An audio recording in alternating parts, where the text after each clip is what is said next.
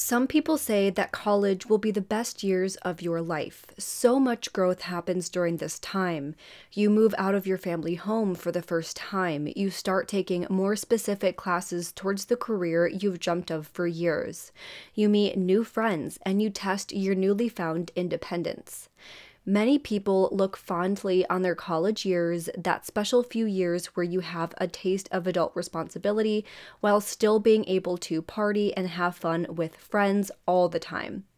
For Reagan Tokes, her life was just getting started. She was at her dream university. She had an amazing group of friends, and she was so excited to start in her new career. However, those dreams would be brutally ripped away from her violently and for absolutely no reason. But before we get into today's case, I want to say a huge thank you to Huuuge Casino for partnering with me on today's video. I am someone who loves a good Vegas trip, but of course, I don't often have the time or money to do that. But with Huuuge Casino, I get to play those thrilling slot games with that Vegas feel alongside friends. With Huuuge Casino, you get to play over 100 online casino games from retro classics to modern slot machines inspired by real slots. But that's not all. On top of slots, you can also play poker, roulette, baccarat, and blackjack. As you play, you can place bets to earn more chips, and the more you play, the more you level up. And as you earn more, you unlock even more games and slots to play. I am a creature of habit and I've always loved to play the Buffalo game at the casino, so of course I love to bet on the Buffalo slots on Huuuge Casino. I am also working to unlock another slot that caught my eye immediately called Cuteness Overload. It shows a picture of little dogs, which gets me so excited and so happy. I love dogs and I love puppies. Also, on Huuuge Casino, you can join a club to play with friends and compete in the Billionaire League. Huuuge Casino is free to download on iOS and Android.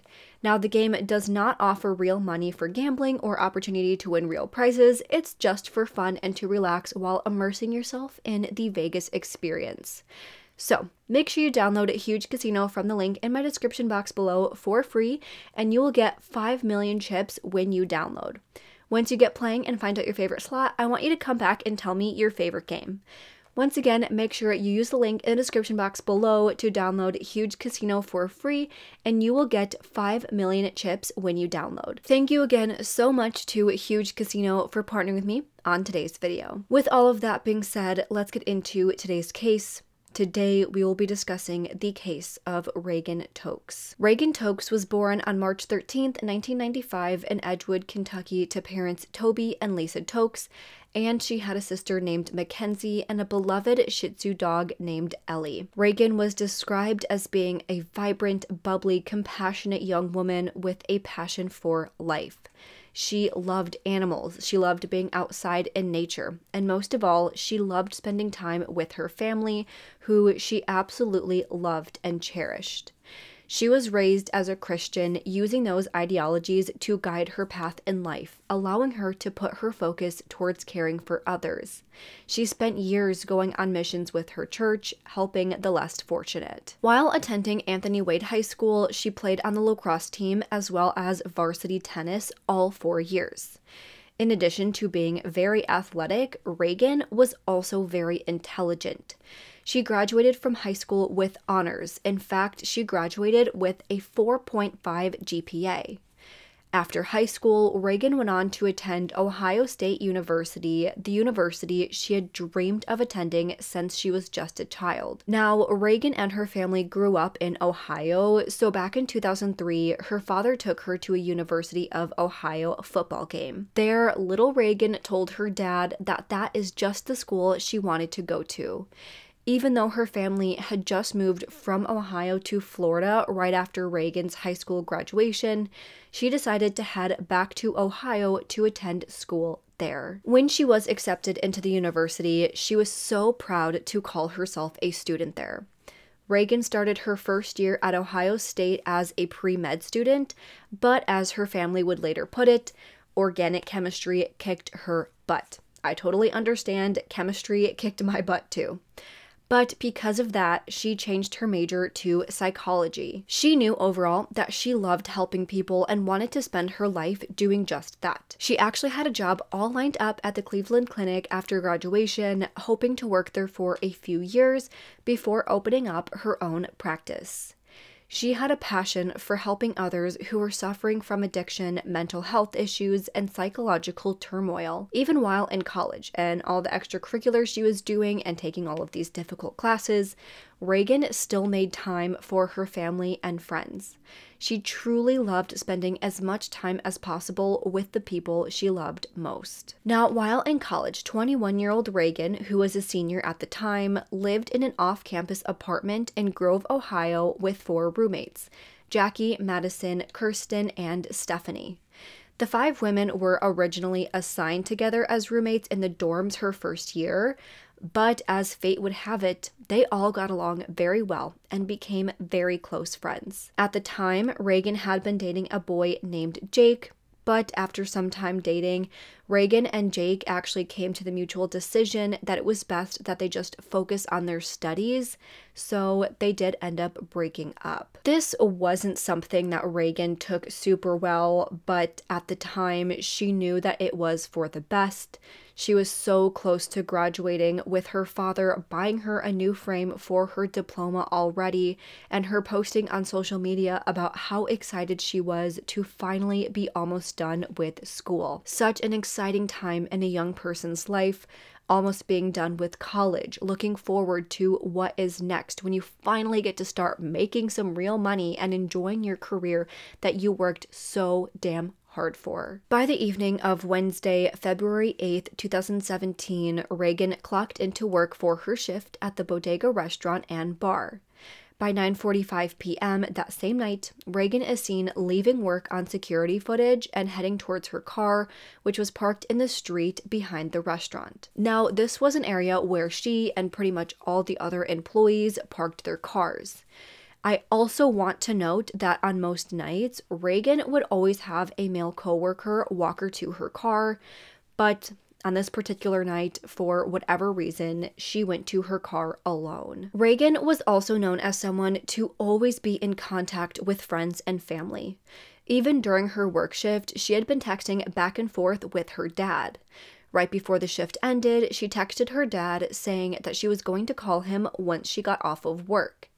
Then, after the work shifts, she would always make sure to text a family member or friend that she was done with work and made it home. But on this particular night, Reagan stopped answering her text messages and that call to her father never came. By 10:30 p.m., both her father Toby and her sister Mackenzie grew concerned at Reagan's lack of communication it just was not like her to stop responding. So, for the following few hours, they both called her several times, but the phone just rang without any answer.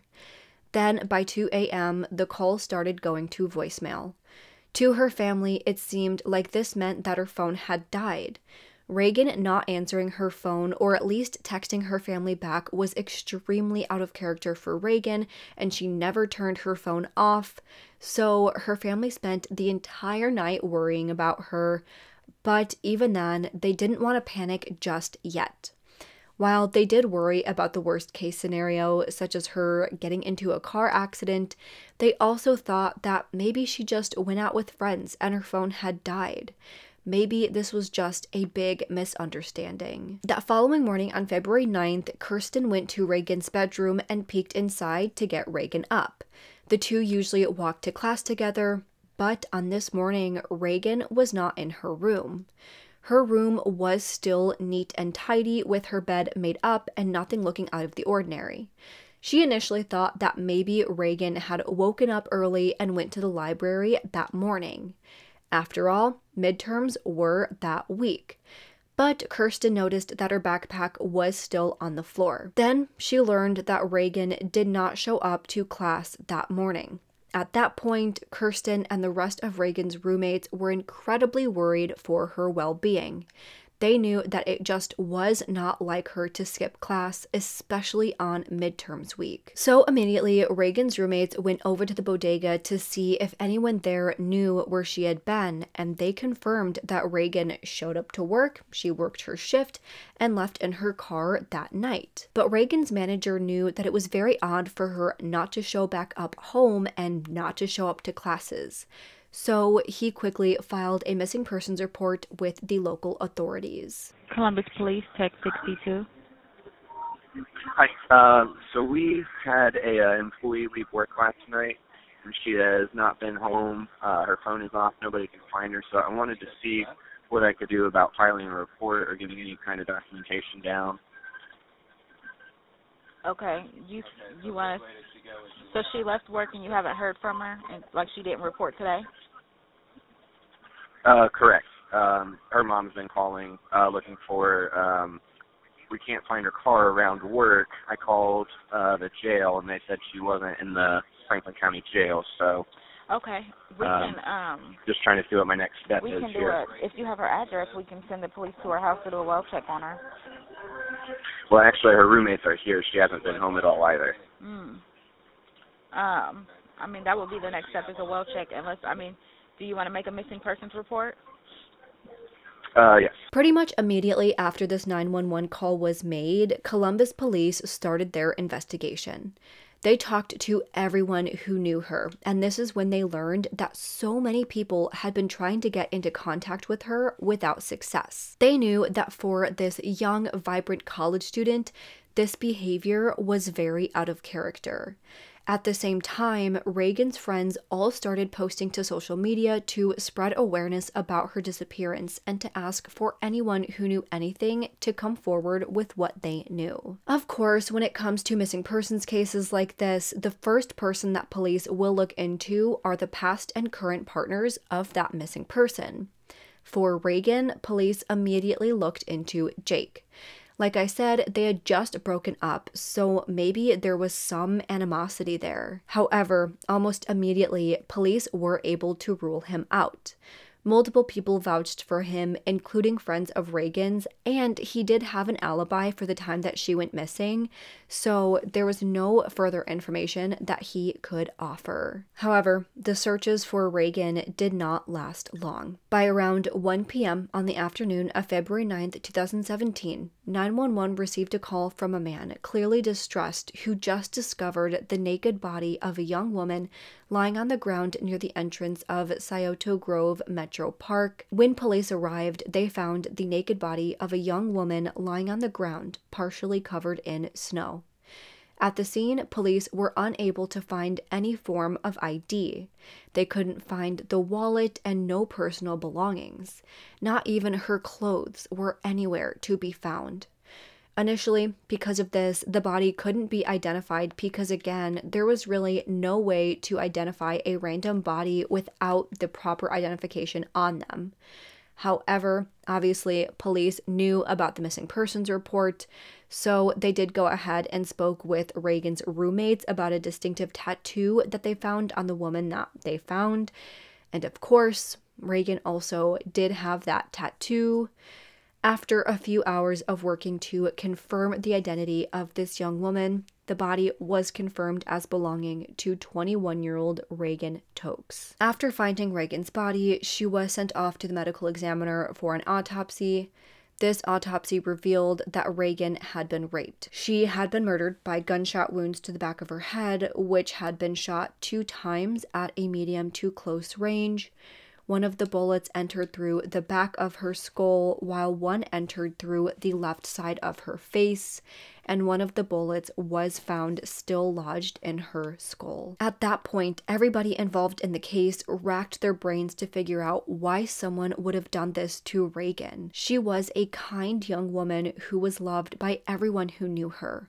So, how and why did someone do something so brutal and so awful to her? Now, at the same time, police had already been on high alert due to a wave of crime and attacks that were taking place in the area in late January to early February of 2017. On January 23rd, a woman was in the garage of her home getting some items out of the trunk of her car when she was attacked from behind by a masked assailant who attempted to rob her.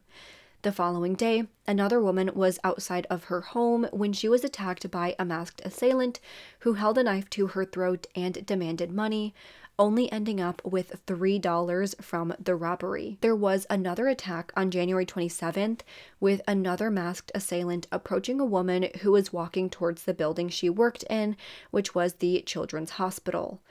Once again, this man held a knife to her throat and told the woman not to scream or he would kill her, and then demanded that she hand over her purse.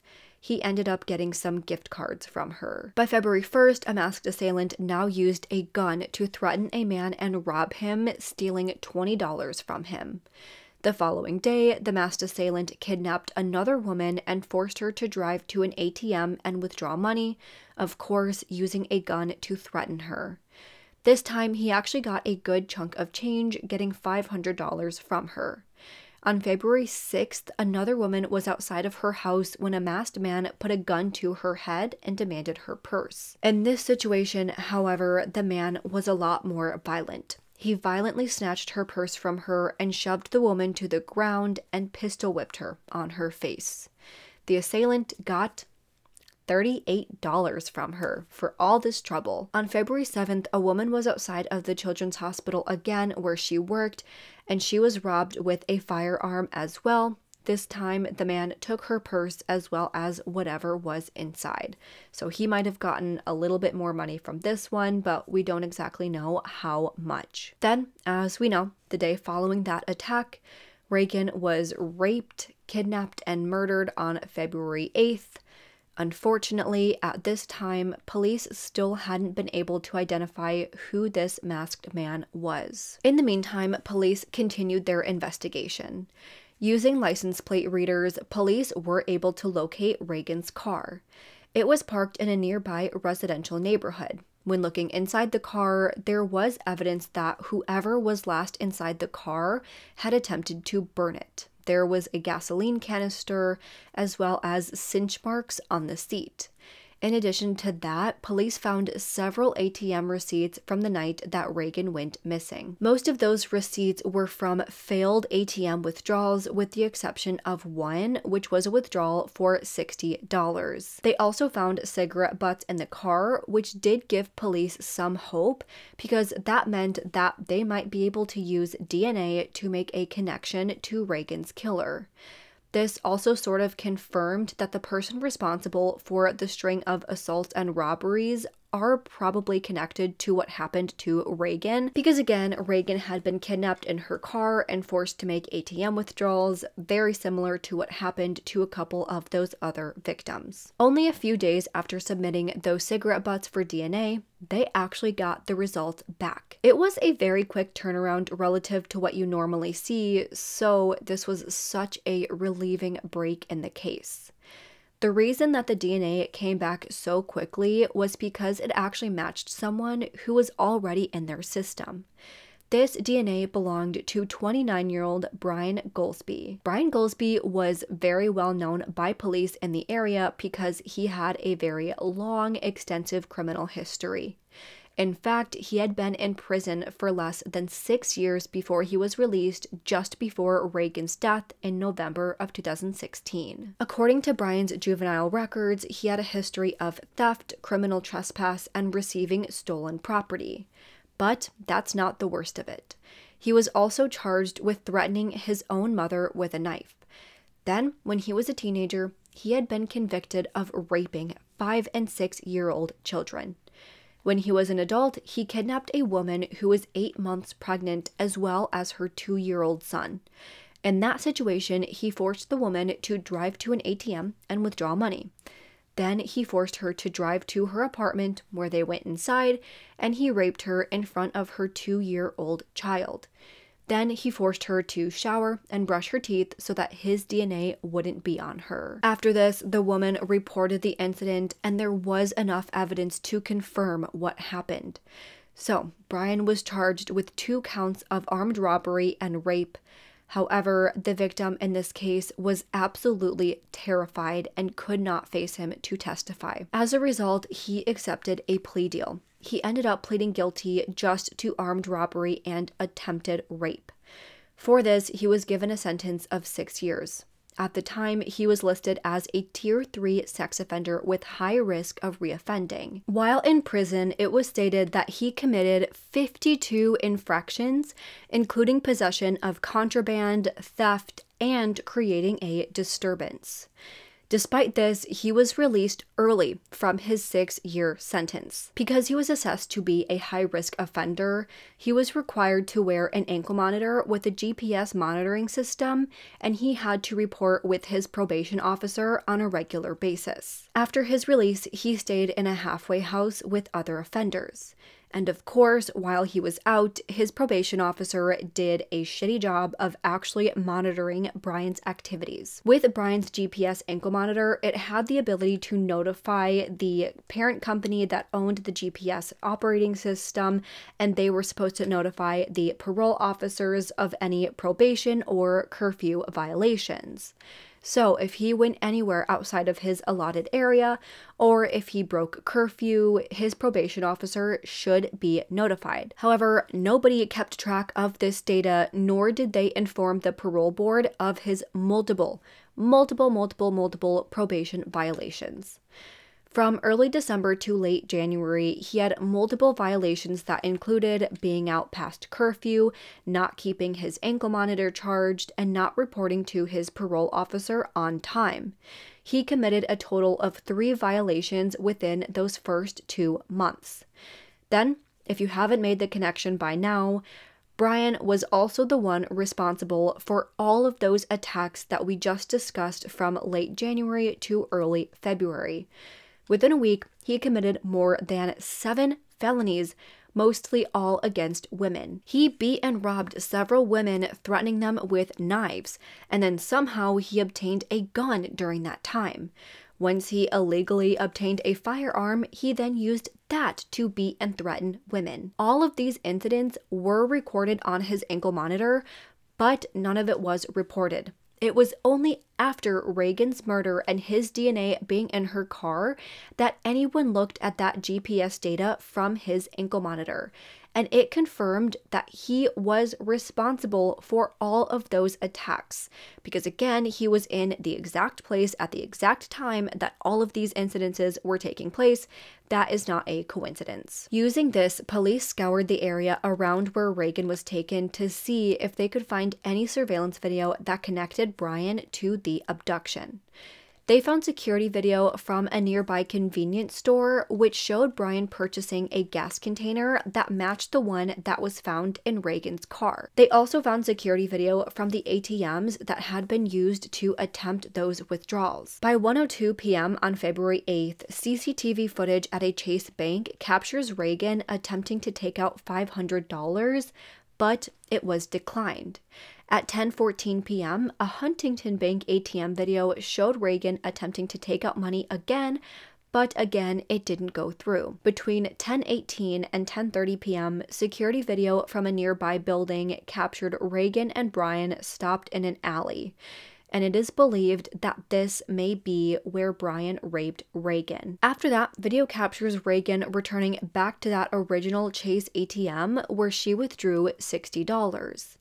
After that, security video captured both Reagan and Brian at the gas station where he purchased gas. Then, sometime between midnight and 1 a.m., they drove to Scioto Grove Metro Park, and that is where Reagan was forced to strip down and walk into the field, crying and terrified for her life before she was shot in the back of her head. Additionally, the medical examiner had performed a rape kit on Reagan, and that also came back as a match to Brian's DNA. Using all of this information, by February 11th, 2017, a SWAT team raided Brian's house and they arrested him. No, we're gonna double check for our safety. You're gonna search the lot, all right? What's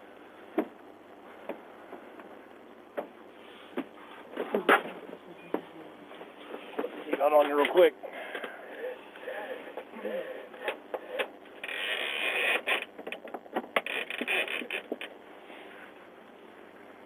All right. Cool. Thank you. After taking him into the station, they conducted a six hour long interview. Initially, Brian denied having anything to do with Reagan's murder. He did, however, admit to robbing her. In the interview, he admitted that after Reagan left the bar, he confronted her outside of her work, got into her car, and then forced her to drive to different ATMs in the area so that he could rob her. He said that he drove her to an isolated area down the road and forced her to strip down. He said that he told her to wait 30 minutes before she left so that he could get away. He took her clothes with him in the car and drove off, ditching her car in a nearby residential area where it was later found. He swore up and down that she was still alive when he left her there. However, after being confronted with the DNA evidence and the fact that she was shot in the back of the head, Brian changed his story. He was now saying that he was there when she was shot, but he wasn't the one who shot her. He said that he was with someone named TJ.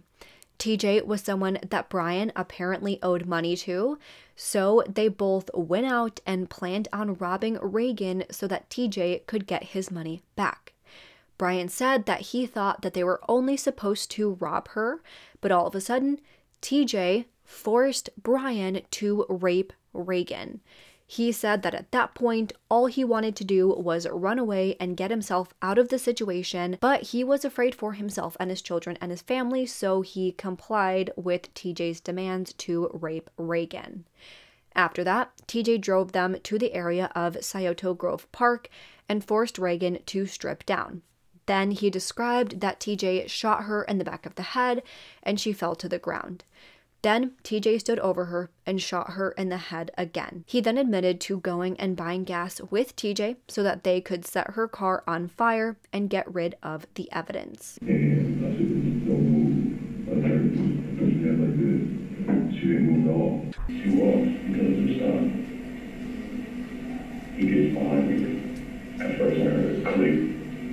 gun that he gave me fake. On the ground. I'm on the car, and again, pow. Then Brian actually told officers where Reagan's clothes, her phone and wallet, as well as the gun that was used to kill her, were all hidden. The gun turned out to be a revolver, and it was later found in a sewer in a residential area. Then he admitted that he kept Reagan's black Kate Spade purse as well as her wallet, which he then gave to his girlfriend as a Valentine's Day gift. Clearly, Brian had enough information to tell the police that he was definitely present for her murder.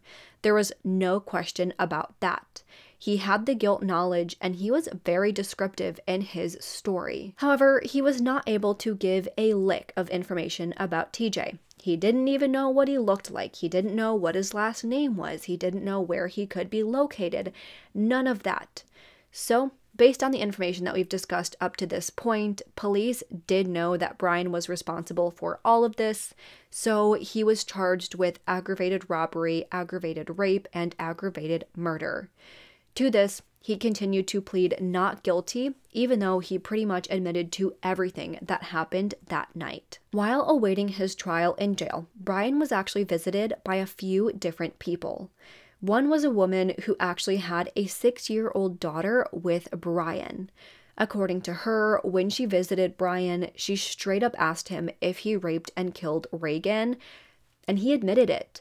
He said that he did.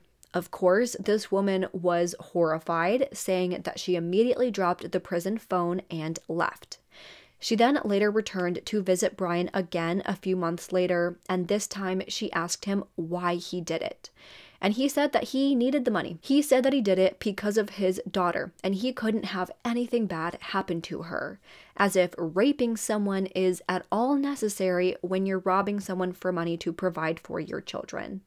And all he got for that was $60 for her. Yeah, that's going to change his daughter's life. Then, a close friend of Brian's, who referred to him almost as a brother, also visited Brian in jail to get some answers. Once again, he admitted to her that he did rape and kill Reagan. By February 13, 2017, Brian had his first court appearance where he was denied bond and made to await his trial in jail.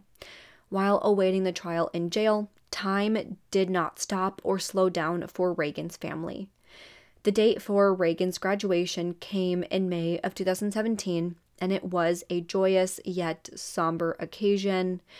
That day, almost 12,000 OSU students accepted their diplomas, but there was still a big gaping hole where Reagan should have been. Her parents and sister stood at the stadium and accepted Reagan's bachelor degree on her behalf, reminding students of the legacy that she would be leaving behind. We would like to take a moment to remember two of our fellow Buckeyes. But the story of Ohio State senior Reagan Tokes will have to be told by her parents. She was kidnapped and killed while leaving her job at Bodega in February, just months before she was to graduate. But today her family got to see her hard work at Ohio State pay off. Reagan Delaney Tokes to receive the degree Bachelor of Arts.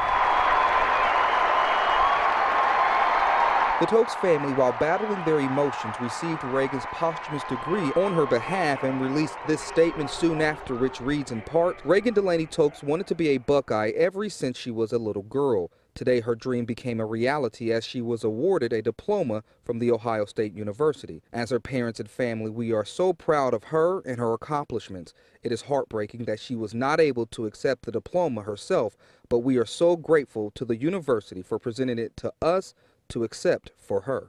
Just over a year later, after the murder, by March 5th, 2018, Brian's trial for murder started. The prosecution argued that Brian Golsby was a convicted criminal and a registered sex offender with an extensive history of sexual violence against women. They talked extensively about the DNA evidence that they found throughout this case that we have been discussing up to this point. The cigarette butts that were found in the car, the rape kit. His DNA was all over her car, proving that he was with her at some point and that he did, in fact, rape her. It was also found that Reagan's DNA was on the barrel of the gun that was used in the murder. The prosecution also talked about his GPS ankle monitor, which literally tracked him along the same route that Reagan and her car were seen taking on the night of the murder. The GPS monitor was also able to track how fast he was going at any given time, so they were able to tell whether he was walking or if he was in a vehicle. Like I mentioned earlier, he admitted to kidnapping Reagan on the night of the murder. According to his GPS monitor, he was walking around OSU's campus at around 7:30 p.m. the same day. He then took a bus and headed downtown. By 8:09 p.m., he is tracked walking in circles around the area of the bodega where Reagan worked. He meandered around the area for about an hour after that. By 9:42 p.m., that is around the same time that Reagan was known to have been kidnapped.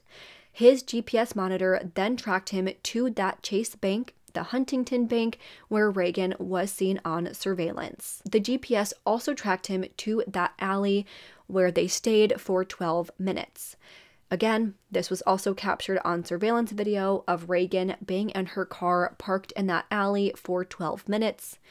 Again, it is thought that this is where she was raped. After that, his GPS tracked him to the same gas stations that we discussed earlier, then to Scioto Grove Metro Park, where Reagan's body was later found. What the GPS and surveillance also confirmed was that there was nobody else with them at this time. It was just Reagan and Brian, no TJ or some other accomplice that was forcing Brian to do crazy things. His GPS also confirmed that he did go to his girlfriend's place where he gave her Reagan's purse and wallet as a gift.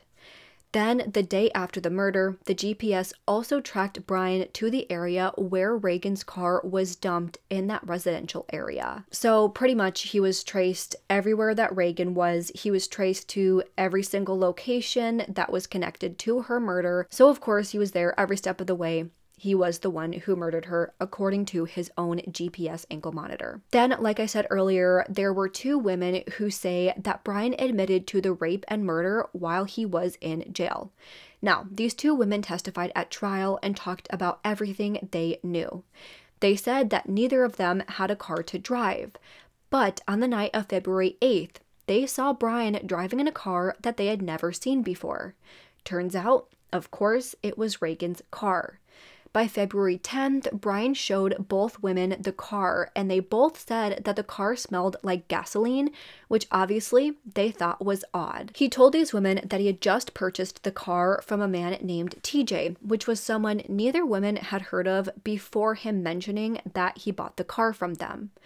Of course, this just confirmed even further that Brian had Reagan's car after she was murdered and tried to set it on fire with gasoline.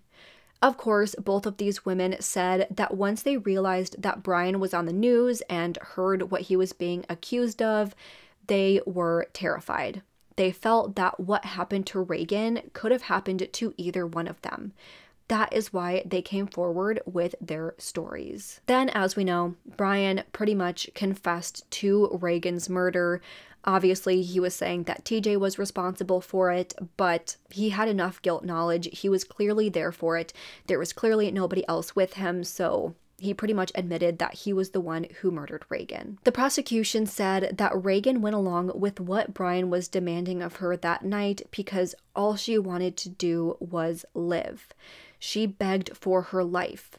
But instead, Brian forced her to endure two hours of absolute torture and horror, ending her life at the end of it so that she could not report him for his crimes. On the other hand, the defense basically said that Brian deserves the presumption of innocence, as does any citizen. They said that the DNA on Reagan does not prove when he was with her.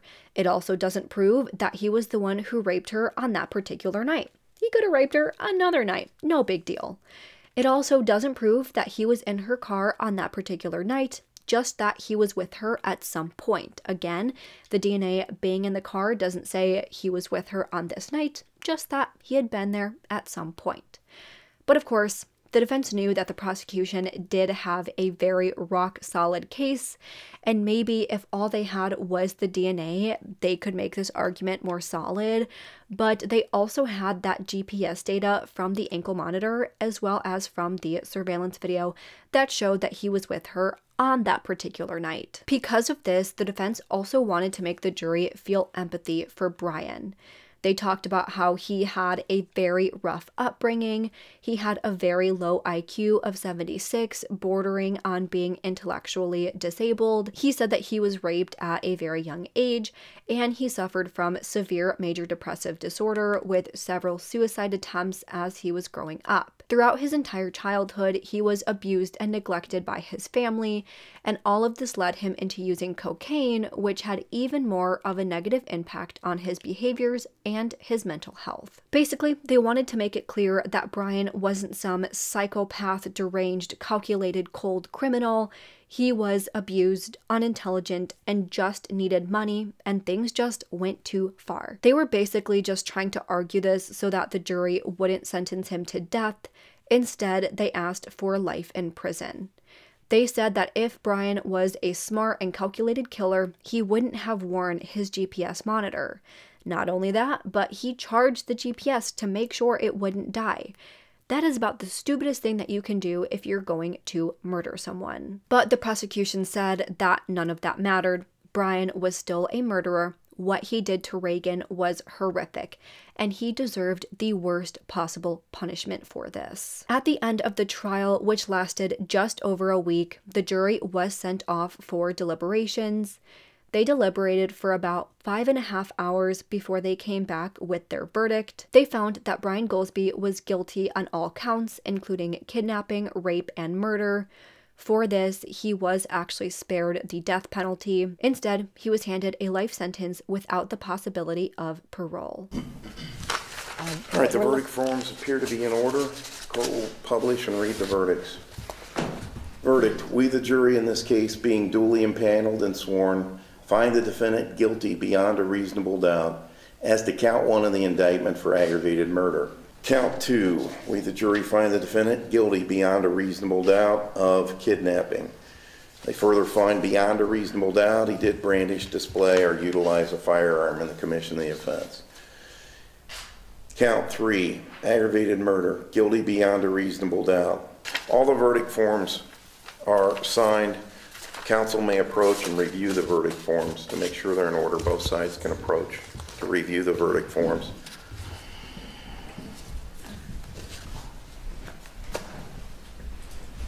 Verdict's the same on all counts.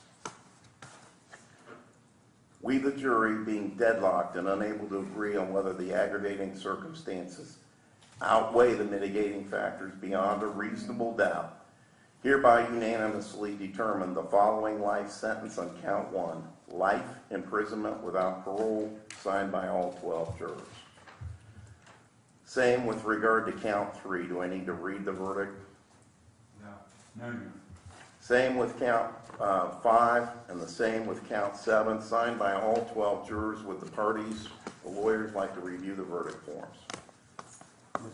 At his sentencing hearing, the judge emphasized that he is happy that Brian will die in jail, saying that Reagan did nothing wrong to deserve what Brian did to her. He said, quote, you need to understand she did nothing wrong. Your life got spared because at least four members of the jury, maybe less, maybe more, something in that neighborhood, felt that your upbringing were mitigating, so your life got spared because of your childhood. Yet Reagan did nothing wrong whatsoever, and yet she forfeited her life because of your background. You get spared because of your background, and yet she forfeited her life. She did nothing wrong except be at work. After his initial sentencing, the prosecution on the case actually filed a 53 page motion asking for the death penalty to be reconsidered on this case.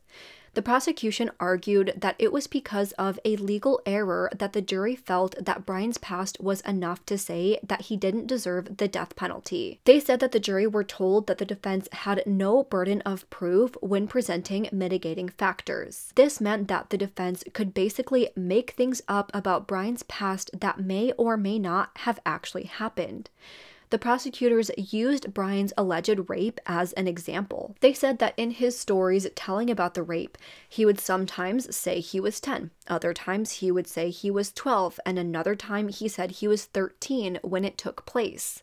The location of the alleged rape were also inconsistent, with him sometimes saying that it happened in a store, sometimes it happened behind a store, sometimes it happened on the street. They said that the jury couldn't have considered that these stories could have been made up, meaning that they fully believed that he was raped and that that was enough to be a mitigating factor. This case was argued in front of multiple courts, but it ended up being denied they said that they felt that the jury was given proper instruction. This decision was appealed by prosecutors, saying that Brian is a cold blooded, remorseless killer who got a lesser sentence because of things that may have never actually happened. At this point, the case has not made it to the Supreme Court, but I believe they are planning to take it as far as the case will go. Of course, after all of this, Reagan's family were also furious at the Ohio Department of Rehabilitation and Corrections, as well as the parent company that oversees the exit program that housed Brian. In May of 2018, they actually filed a lawsuit that claims both entities were negligent and failed to adequately monitor Brian, which led directly to Reagan's murder. And I have to say, I do agree. He was committing crime after crime after crime for days leading up to her murder. People were scared of this masked bandit going around hurting and robbing women, with police saying that they just couldn't figure out who it was. Yet the person responsible was literally wearing an ankle monitor that was supposed to be tracked by law enforcement. Their case against the Ohio State Corrections unfortunately was denied. They did take it all the way to the Supreme Court, where they refused to hear the case, but they were able to settle the case against the NISRE, which was the parent company of the exit program. But despite being denied from their first lawsuit, Reagan's family refused to give up they worked with Congress to pass the Reagan Tokes Act, which was signed into Ohio law in December of 2018. This law requires judges to enact a minimum term for Class 1 and Class 2 felonies. These offenders are presumed to be released at their minimum term. However, before being released, their case must go in front of the Ohio Department of Rehabilitation and Corrections, where they will hold an administrative meeting. There, they will review if the offender has engaged in improper conduct and determine whether they will be a threat to society. If so, they must continue to their maximum sentence. If they show exceptional conduct during their sentence, they may be allowed to reduce an offender's sentence by 5 to 15% of the minimum sentence. This is in hopes that the most violent offenders will stay behind bars as long as humanly possible, while allowing those who truly have proven themselves to be better may be in prison for a shorter period of time. Hopefully, this will serve as a way to protect Ohio from the most dangerous criminals, while also allowing those with lesser charges and less serious offenses to be released early and make more room for the dangerous criminals, rather than releasing the violent offenders who continue to prove themselves as being dangerous and clearly aren't going to change any of their behaviors. So, that is actually all I have for today's case, this is one of those cases that leaves me just feeling kind of awful. It's so disappointing to see cases where people are just let out of prison, especially early, despite showing obvious behaviors that they will not stop committing crimes. Then when they are released, the people responsible for monitoring them don't do their jobs. Instead, they just trust that this violent offender, who is labeled as high risk of reoffending, will just stop committing crimes, even though they literally continued committing crimes while in prison being watched by people very closely. Imagine what can happen when they're not being watched very closely.